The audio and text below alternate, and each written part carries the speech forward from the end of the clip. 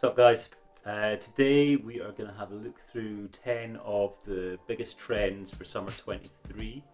All the brands have released their summer ranges, all the influencers have got their outfits nailed, so we've got a pretty good idea of where the trends are going, what everyone's going to be wearing. But rather than just wearing what every influencer tells you to wear, we're going to try and have a look at some of these trends and decide whether they're ones we should jump on or whether we should give them a wide berth some of these trends are going to be here for a long time. Some of them, they're just going to be this season. We're going to try and figure out which is which, and we're going to try and help you guys decide which of these trends you want to jump on for the summer. First up, old money aesthetic. So if you watch any fashion content on YouTube or uh, TikTok or Instagram, you're going to come across millions of these videos telling you how to get the old money aesthetic. It seems like half these videos just tell you go to Zara, buy a pair of chinos, a linen shirt, and a polo, um, and always loafers, always loafers. And you get that, and you're going to look like you're rich. It doesn't really work that way. So anyway, as the name suggests, the objective of this look is to make it look like you come from generational wealth. Um, I think it's come partly from the popularity of Succession and yeah, no doubt there were some cool looks in that series. Well, and without getting too political, I think maybe part of it comes from the fact that life is pretty tough at the moment. Um, inflation's going crazy, it's hard to get good jobs, so I think the idea of having this generational wealth, meaning that you never really have to work or never had to work, is obviously an amazing fantasy for people to have, and so people want to replicate that look what people forget is that a lot of people with generational wealth don't look stylish at all. They look like this or this. And we don't really want to look like that. So as you can tell, I wanted to hate the style, I wanted to hate the look. However, most of the pieces recommended in this look are actually pretty cool and very timeless pieces. So we're talking chinos or nice trousers, we're talking loafers, we're talking nice quality shirts, whether it's an Oxford shirt or a linen shirt. And if you combine these pieces, you get a good look.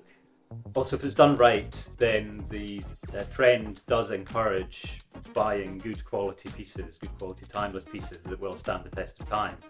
And so there's not much to dislike about that. So, as much as I wanted to give this a thumbs down because of all the horrible content around it, actually the look is pretty good. So, despite not wanting to, I'm going to give it a thumbs up.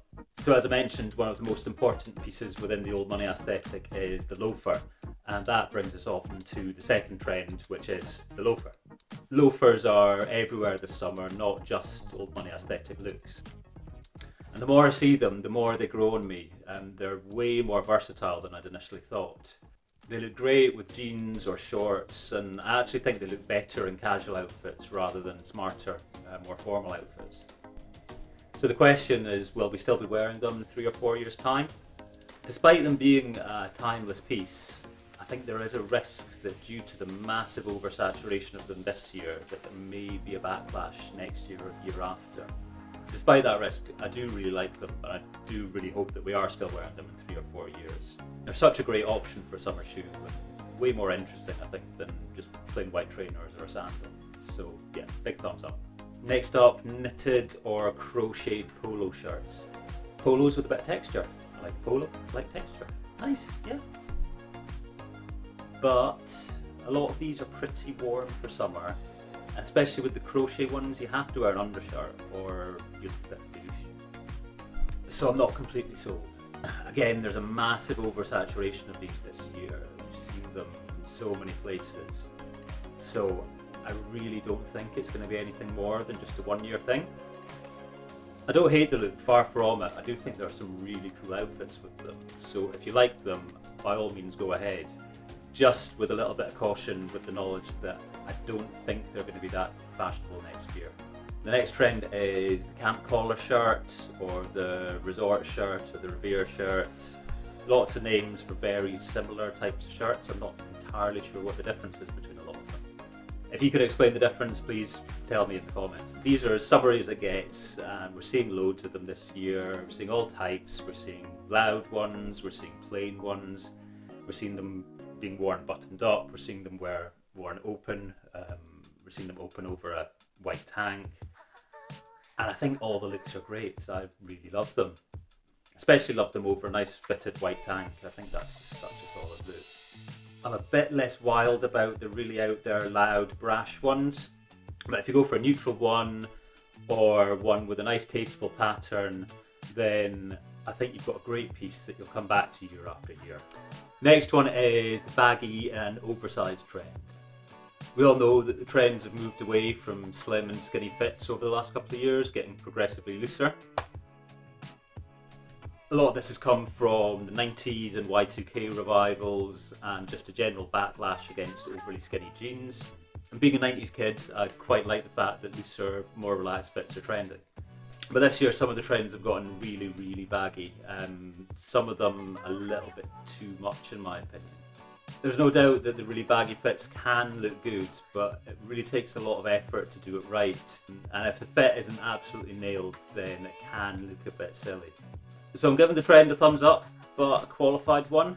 Um, yes to relaxed jeans, yes to airy linen shirts, yes to boxy t-shirts, but no to huge parachute pants and massive 90s suits. The next trend we've got is cropped tops.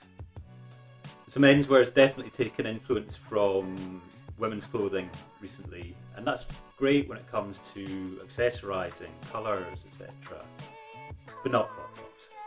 Even with the most amazing body, you'll still look ridiculous. So unless you look like Mahoney from Police Academy, don't do it. The tank tops, on the other hand, look great. The only caveat on this one is that you have to be confident in your own body to wear them. You don't have to be super muscular, but if you are a bit self-conscious, uh, if you're carrying a few extra pounds in your belly, or if you've got skinny arms, I've got both, um, then yeah, you need to be confident enough to wear them. They can be worn on their own, but you do run the risk of looking a bit of a douche if you do want to wear them on their own, just make sure the rest of the outfit is pretty basic because just wearing a tank top on its own is enough of a statement. You don't need anything else loud there.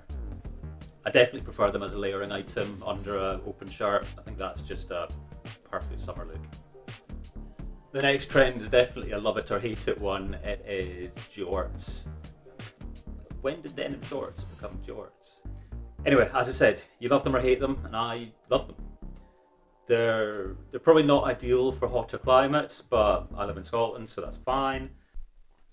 As with jeans, we've got some really baggy ones this year, and I actually I prefer the baggier jorts than I do to super baggy jeans, especially in streetwear outfits. Um, some of the baggy jorts are super cool. Unfortunately, I'm a bit old for that, but if you're not, then yeah, go for it. So yeah, I love them. I'd highly recommend them. But what I would say is that if you don't love them, don't buy them. Um, they won't always be as popular as they are this year, and if you didn't like jorts before, then you probably won't like them in future. So, as with anything, don't buy it just because it's trending. Only buy it if you really like it. So the next one is another one with a terrible name and a bit of a strange one. It's Blokecore trend. So yeah, so football shirts and terrace wear seems to be having a bit of a moment. So much so that you'll see Instagram pictures of cool kids in New York wearing random football shirts from the 90s. And so these are often paired with bootcut jeans and Adidas Sambas. So all we need now is a Superdry revival, and your dad will be the most fashionable guy that you know. So yeah, bit of a strange one as I said, and I'm not sure where I stand on it. I love a lot of old football shirts, but I don't really associate them with dressing well. And when you see a football shirt being put into a super fashion forward outfit, it reminds me a little bit of when you see a teenager wearing a Beatles t-shirt or something like that that they don't really understand. Maybe that's just a bit of music and football snobbery, but I don't know, I, I don't love it. And I'm more sure about this trend than I am with any of the others, that this is definitely a short-term fad.